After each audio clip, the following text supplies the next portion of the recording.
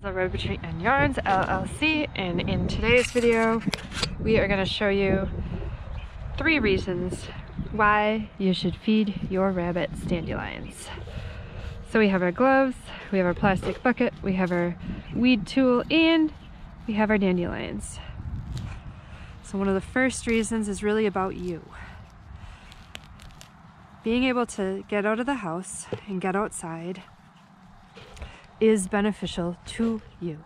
It's beneficial because right now there's a lot of stuff going on in the world and sometimes it can be easy just to sit inside and stare at a phone or stare at a TV or stare, stare at a computer screen. And that's not it's not always the healthiest option. In fact, it's not a healthy option at all. So it benefits you to get out and it feels good to do something that is good for your rabbit. Plus, if you don't like dandelions in your yard, then it makes your yard look better, and that's positive. So the second reason to feed your rabbits dandelions that you've harvested, not only is it good for you, but it's good for your rabbit. So rabbits can rabbits can eat a diet of just pellets. There are pellets that are developed to be the be all end all.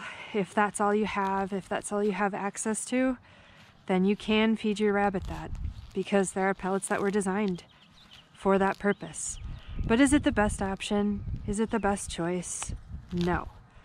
Being able to offer your rabbit fresh greens in a variety of options, such as dandelions fresh from your yard, is actually beneficial to the health and the mental well-being of your rabbits.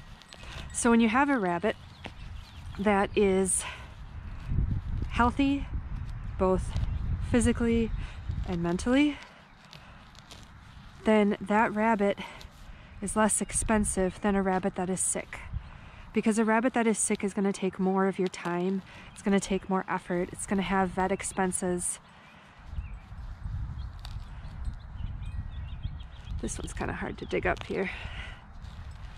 Kind of a sideways root. But it's better for your rabbit. Rabbits like to chew. They have a psychological need to be chewing on things anyone who has a house rabbit can attest to the ability of their rabbit to find things, all sorts of things to chew on. So it, it fulfills that satisfaction. Dandelions are, they have different flavors as well in different parts of the plant. Most rabbits won't eat the roots. But the dandelion flower itself will taste different than the dandelion leaves. So again, you're giving your rabbit that variety. And the green of a dandelion compared to the flower of a dandelion, besides different tastes, it's you have different textures, just different things to keep your rabbit in good health mentally and physically.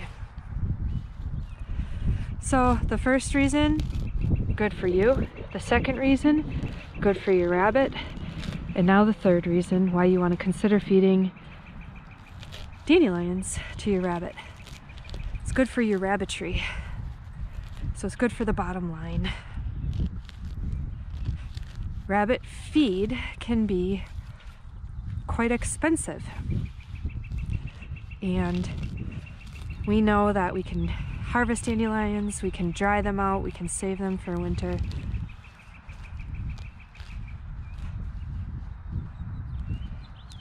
This saves money that you would otherwise have to pay for feed at your rabbitry.